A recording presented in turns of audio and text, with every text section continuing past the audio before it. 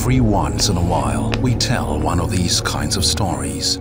Much of it is fact, none of it is fiction. In between, however, is divine revelation. You are too young and inexperienced. We can't work with you.